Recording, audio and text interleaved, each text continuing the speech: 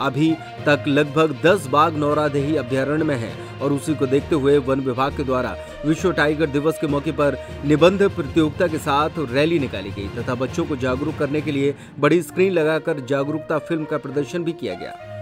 इस मौके पर सीसीएफ अमित कुमार दुबे और डीएफओ सुधांशु यादव नौरादेही अभ्यारण्य के गेस्ट हाउस पहुँचे, जहाँ कार्यक्रम में शामिल हुए।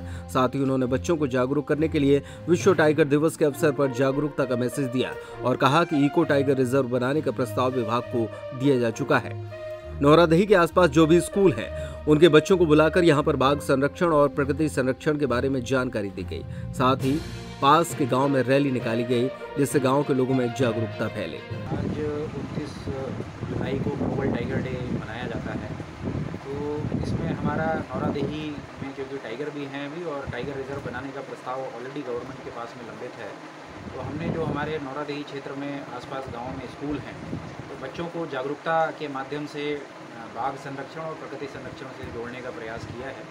तो स्कूल के बच्चों द्वारा बाघ संरक्षण के महत्व को समझकर उसके संबंध में एक रैली गाँव में निकाली गई थी, जिसके माध्यम से हम और जो नौरादेही के रहने वाले निवासी हैं, इस क्षेत्र में रहने वाले, उनको बाघ और प्रकृति संरक्षण का संदेश व्यापक स्तर पर देने का प्रयास किया।